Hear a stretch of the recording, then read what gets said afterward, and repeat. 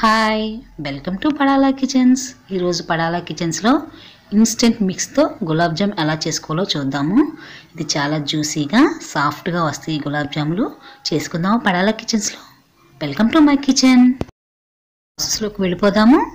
ముందుగా ఒక గిన్నె తీసుకుని రెండు గ్లాసులు పంచదార రెండు గ్లాసులు వాటర్. షుగర్ ఎంతైతే వాటర్ కూడా అంత వేసుకుని సిరప్ తయారు చేసుకోండి. ఫ్లేవర్ కోసం దాంట్లో మూడు విలాచి వేసాను నేను. పొయ్యి మీద పెట్టి ఒక్క పొంగు వచ్చే వరకు సిరప్ కాసుకుంటే సరిపోతుంది. తీగపాకం అస్సలు వద్దు. కాసుకుని పక్కన పెట్టుకోండి.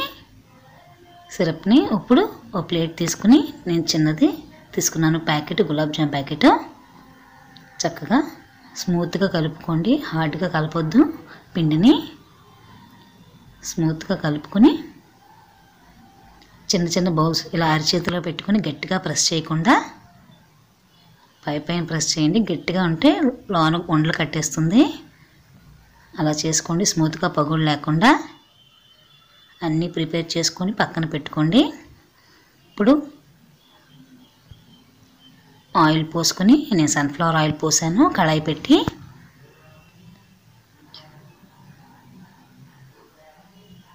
ఆయిల్ హీట్ ఎక్కిన తర్వాత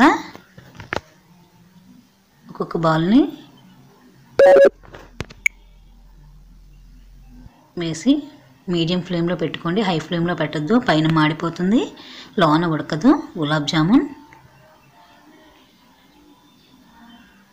అన్నీ ఒకటొకటి తీసుకుని మనం తయారు చేసుకున్న షుగర్ సిరప్లో వేసుకోవాలి. అన్నీ మనం తయారు చేసుకున్న బాల్స్ అన్నీ అలాగే మీడియం ఫ్లేమ్లో పెట్టుకుని వేపుకొని షుగర్ సిరప్లో వేసుకోవాలి.